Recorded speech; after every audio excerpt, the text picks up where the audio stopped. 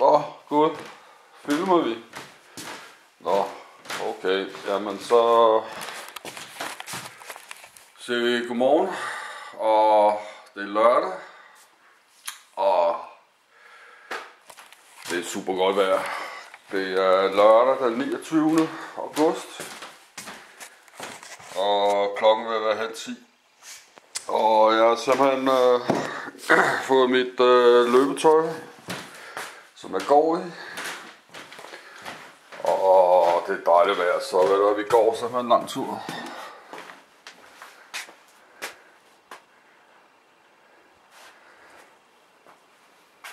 Og der er super flot vejr. Og vi lukker lige døren her. Og hvad så der er lukket her? Og det er mit øh, dronetestcenter. Men øh, jeg må have noget ordentligt at flyve med. Jeg er træt af de der billige plastik her. Og jeg har ikke fløjet to-tre uger. Jeg skal også til at flyve lidt. Jeg er stadig nybegynder. Så. Og det er mit øh, spotlight til drone. Jeg skal sidde under en drone øh, sådan her. Og det bliver overdrevet varm. Men er det ikke det, vi skal filme? Og simpelthen øh, med et plan, hvor vil gå ud til Øresund. Ja, der er 7 km ud over dyrehaven. Men øh, jeg er stadig meget fed, så jeg tror simpelthen, at vi går den vej, jeg kender.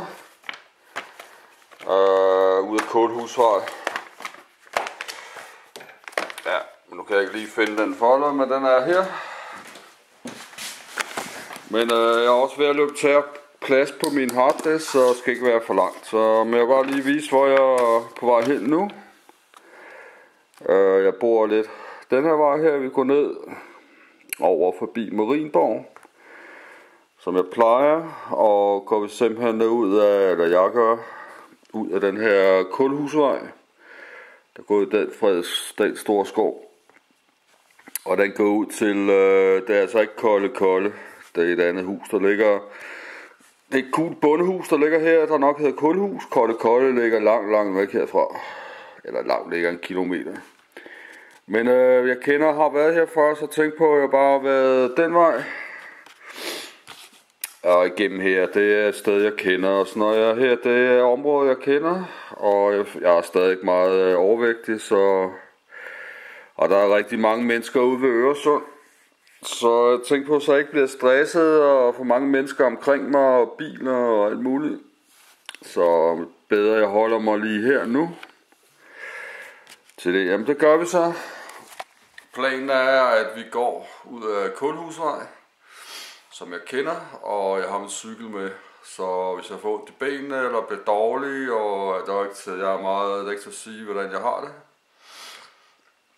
så hopper jeg op på cyklen og hjem igen. Men øh, jeg har ikke drukket noget i 3-4 måneder, og jeg har ikke røget i 2,5 måneder nu, så det går lidt bedre, men øh, jeg er sgu stadig meget ustabil. Og også fordi jeg er blevet så overvægtig og tyk, så tit så får jeg ikke så godt. Men ikke alt det snak, øh, nu går vi simpelthen.